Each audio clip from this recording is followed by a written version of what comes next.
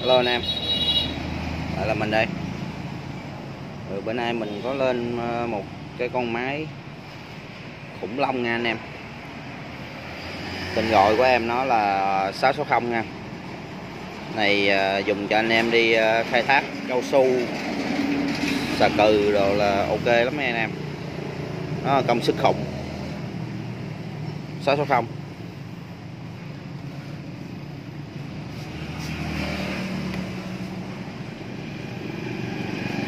manh gum.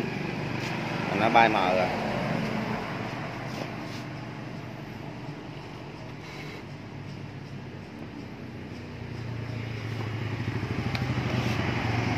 Chụp giật là còn nguyên gin.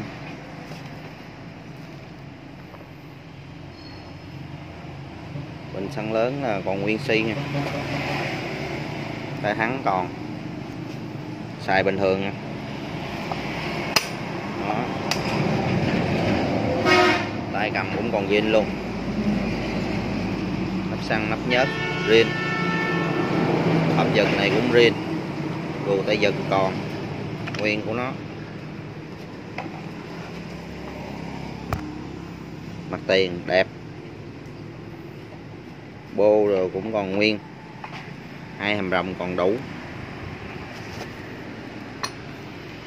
Nắp cớp riêng hai con tán riêng tay cầm còn lòng dên thì khỏi phải bàn anh em. Lòng dên riêng nhìn cái nước ram là biết rồi xăng con riêng.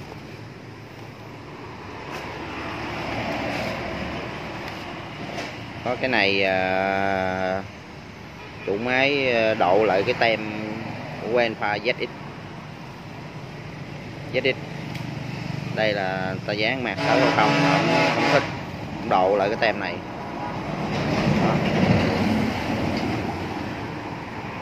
còn nguyên ờ, đồ nó là bao zin.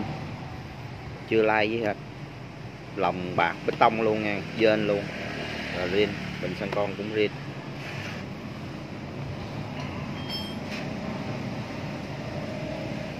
rồi. Túc xả áp rồi là còn xài được luôn nha. Nhưng là máy này đẹp lắm. Đó cảm quan em nó lóc biết rồi là còn ok luôn nha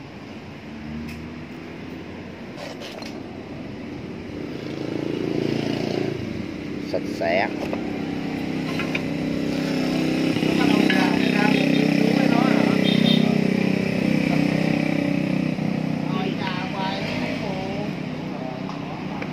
Rồi giờ mình uh, xin phép uh, test máy cho anh em nghe nha. ơi quá hơn